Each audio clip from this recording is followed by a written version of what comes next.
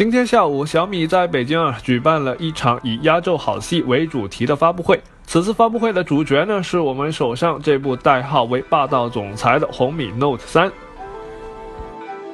我们都知道，红米 Note 二真正上市仅仅才一百天，不少用户可能刚刚在双十一中下完单。这回啊，红米 Note 三又来了，究竟是为什么呢？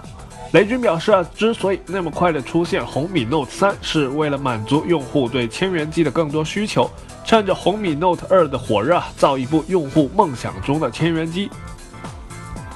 首先，我们过一遍红米 Note 三的硬件参数。红米 Note 三采用5.5英寸 1080P 分辨率屏幕，搭载了 MT6795 处理器以及500万像素前置、1300万像素后置摄像头。双色温补光灯，低配版呢为两 GB RAM 加上十六 GB ROM，高配版则采用了三 GB RAM 加上三十二 GB ROM，配备四千毫安时电池。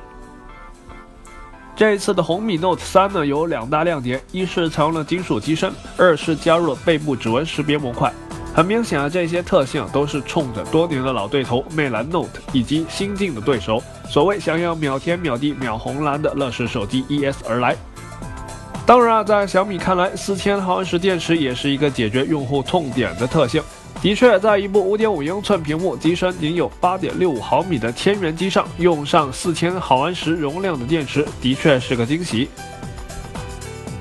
需要注意的是，红米 Note 3的背部采用了类似魅族 MX5 一样的设计，将两端的塑料嵌入中间的金属后，再用喷涂技术制造出全金属机身的错觉。由于采用了弧形后盖设计，握持的手感相当好。另外，该机重量为一百六十四克，只比红米 Note 2重上四克。不过，这是为什么呢？指纹识别模块方面，雷军表示，红米 Note 3的指纹识别速度可以达到零点三秒。我们可以实际来看看。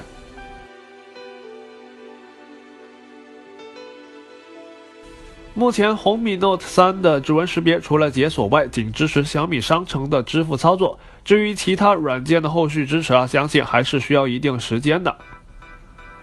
机身颜色方面，红米 Note 3拥有银白、深灰和金色三个版本，双网通标准版售价依然为八百九十九元，而三 GB RAM 的高配版本的售价为一千零九十九元。二十七号上午十点在小米官网首发。此外啊，今天的发布会上还有个配角小米平板二。小米平板二呢，采用的是全金属机身设计，厚度为六点九五毫米，重量仅为三百二十二克，搭载主屏为二点二四 G 赫兹的英特尔灵动 X 五 Z 八五零零处理器，十四纳米制程，六十四位四核，内置两 GB RAM，屏幕为七点九英寸，两千零四十八乘以一千五百三十六分辨率，与 iPad mini 四相同。主相机八百万像素，前置相机为五百万像素，内置六千一百九十毫安时电池，支持 USB Type C 接口。值得注意的是啊，小米平板二采用了定制的米 UI 系统，内置护眼模式和屏蔽按键防误触等功能。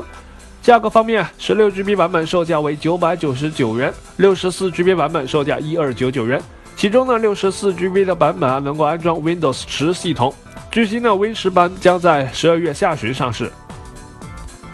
好了，本次蜂巢评测室在小米发布会现场为大家带来的上手视频就到这里，欢迎订阅我们的视频账号，获取最新的新机上手资讯。